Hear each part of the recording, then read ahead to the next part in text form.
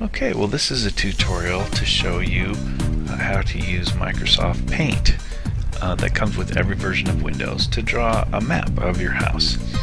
Um, this is just to familiarize you with the software. You may also want to look at our other tutorial um, that shows you the house and how we set everything up. Uh, but this is just to get you familiar with the software and how to draw.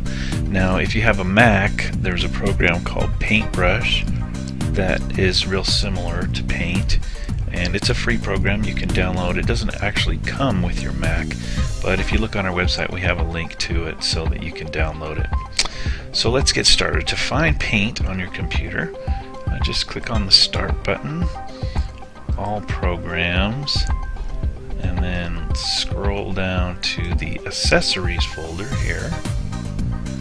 Then there's Paint right there. Click on Paint and here's what it looks like when it's open. Now you want to make sure it's in full screen. Usually it opens in full screen, but if it ends up looking something like that, you definitely want to click up here and set it to full screen because you want it to cover as much of your house as possible. Now you'll have this open and you'll be projecting all of this onto the front of your house, right?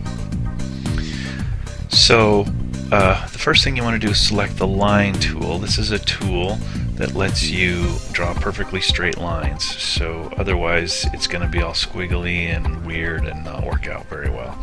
So you definitely want to use that tool. Also, you want the size, set the size to be about medium there in, in your line.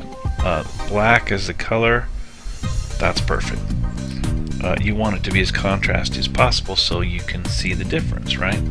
So you look up at your house, um, and then just start drawing and you'll be able to draw lines like that. Another line right here. Maybe this is your garage door right? So you draw draw another line here.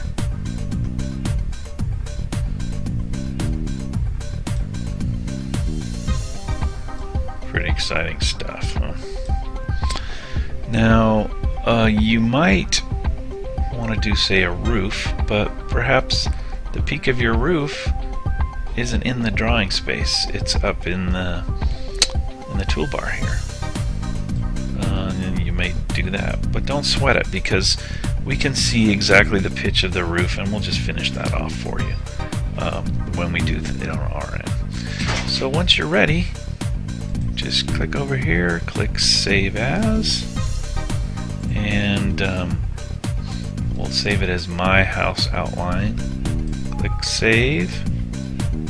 And good to go. Then just email that file to us. Now the default uh, format is PNG that will work just fine. If you want to use some other kind of drawing program pretty much any of the major file formats will work for us. Like JPEG or TIFF or GIF or anything like that. Um, and then once we get it we'll go from there.